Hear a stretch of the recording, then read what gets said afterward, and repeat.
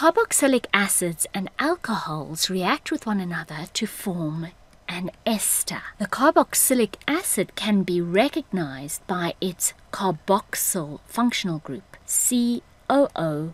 You can see here's the C bonded by a double bond to that O, and here we have the OH. An alcohol can be recognized by its functional group OH, the hydroxyl functional group. And what happens when these two react with one another is that this H here comes out and reacts with this OH here. So what's the product going to be if those react? And then the two main parts of those two compounds react with one another to form the ester. So this is shown in another way. We have the alcohol, the carboxylic acid. They react with one another, and there are two products, the ester and this other thing. I hope you saw what it was. In case you haven't, here's another way of seeing this. So here we have the carboxylic acid. Here we have the C bonded by a double bond to the O, the carbonyl group, which is part of the carboxylic functional group, and here the hydroxyl group, which is also part of the carboxylic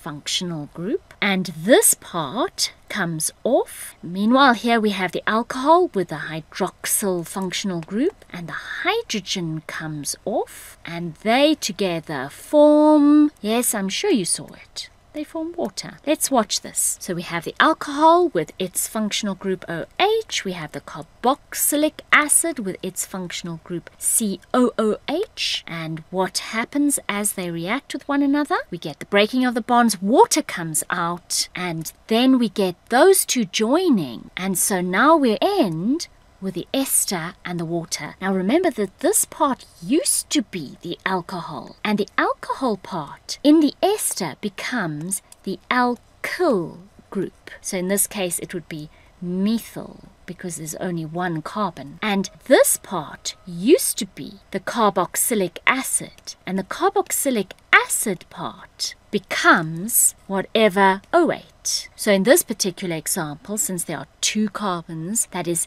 ethanoate. So this would be methyl ethanoate and water is also produced over there. And we call this kind of process esterification. And to cause it to happen we need to add a sulfuric acid catalyst as well as heat. Sulfuric acid is a good dehydrating agent, meaning it's good at removing water from something. So that's why it's very obvious that it's a good idea to use sulfuric acid in this reaction because we're trying to remove water from these substances to make them react with one another to form the ester. So let's take an example. Here we have an alcohol and a carboxylic acid. We add sulfuric acid as the catalyst, the dehydrating agent. What are the two products going to be? The name of this alcohol is butan 1 ol, and the name of the carboxylic acid is ethanoic acid. So butan-1-ol reacts with ethanoic acid in the presence of sulfuric acid to produce what? It forms water as one of the side products. Yes, the water comes out and then it forms an ester. This part here used to be the alcohol, so it is called alkyl now. And remember that was butan-1-ol. So it's now butyl. This part here used to be the carboxylic acid, and so it ends with oate. And it has two carbons, so it's ethanoate. Butyl ethanoate plus water. And we call that esterification.